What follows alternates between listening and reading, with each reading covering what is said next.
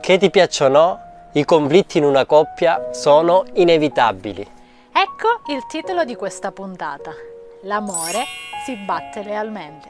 Quando vi siete uniti, non avete unito soltanto le vostre speranze e i vostri sogni, ma anche le vostre paure, le vostre ferite e le vostre imperfezioni. Con il tempo, ecco che arriva la scoperta l'uno dell'altro. Vi siete resi conto come entrambi siete potenzialmente peccaminosi ed egoisti.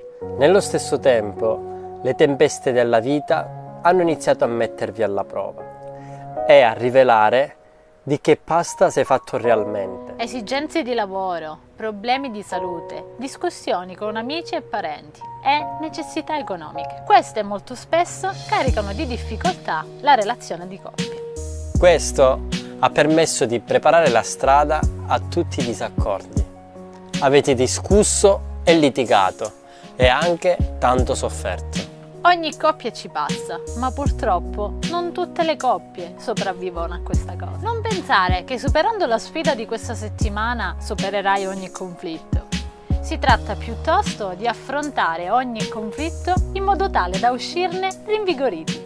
Nel mezzo di un conflitto prendi le decisioni peggiori e quando i conflitti iniziano a prendere il sopravvento, nessuno dei due riesce a mettere il piede sul freno. Ma l'amore cambia le cose, ti ricorda che il tuo amore è il troppo prezioso per permettergli di autodistruggersi. La persona che ami è più importante di qualsiasi cosa tu stia combattendo. L'amore ti aiuta ad installare gli airbag e ti ricorda che il conflitto può essere rovesciato in qualcosa di buono. Le coppie che imparano a fare questo tendono a essere più intime, più fiduciose e di godere di una connessione molto più profonda. Costruire ponti invece di mura. E ricorda che l'amore non è un combattimento, ma che ne vale la pena battersi per esso. Ecco la sfida della settimana.